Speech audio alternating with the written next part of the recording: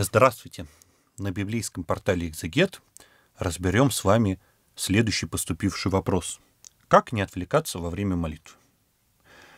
Действительно, много есть разных советов, но попробуем а, вернуться к тексту Евангелия, к тексту Новозаветному, и начнем с того, что мы, правда, воины Христовы.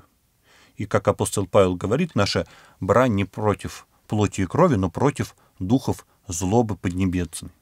Поэтому мы, когда идем и стремимся к Творцу и Сождателю нашему, чтобы с Ним, возродившись, соединиться и пребывать в жизни вечной, лукавый, наш враг, постоянно нам будет препятствовать. А, именно поэтому есть некоторые символические действия, да, что вот щит, щит веры нам, что вера в Бога прежде всего, что если у нас уже есть щит, то нам не страшно нападки дьявольские. Если мы верим в Бога, то мы верим, что Он примет нашу молитву, и ее точно так же будет любить, если мы будем молиться и не сдаваться, даже если мы отвлекаемся. Потому что Лукавый говорит, вот, ты отвлекаешься, сдавайся. Сдавайся, Богу уже такая молитва не угодна. Поэтому можно лучше и не молиться. Но у нас, мы же верим Бога. Мы Ему доверяем, и у нас вот этим мы щитом веры, который апостол призывает нас взять, прикрываемся и верим, нет, Господи, пусть моя молитва никудышная, я все равно с Тобой общаюсь. Кроме того, апостол Павел еще нас обнадеживает, обнадеживает, что на самом деле мы своей молитвой не в силах себе помочь, если бы Дух Святой сам не беседовал с нами, когда мы пытаемся обратиться к Нему. А, также и Дух подкрепляет нас в немощах наших, ибо мы не знаем, о чем молиться, как должно, но сам Дух ходатайствует за нас воздыханиями неизреченными.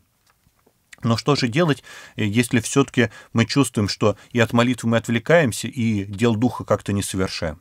Но для этого все-таки Господь и говорит, сложно молиться, отвлекайтесь, соберитесь, соберитесь вместе на молитву в храм, где двое-трое соберутся во имя Мое, там и я посреди них, сказал Господь. Поэтому мы идем в то место, где собираются люди во имя Божие. Идем в то место, где Дух Святой дарует нам таинство церковное. Потому что кто за нас будет ходатайствовать? Дух Святой. Мы можем собраться на молитву, конечно, и в домашних каких-то условиях, но раз именно мы надеемся на ходатайство Духа Святаго, то нам, конечно, раз мы христиане, и мы не сдаемся и стараемся все равно общаться с Богом, очень важно идти туда, где Дух Святой действует и молится за нас.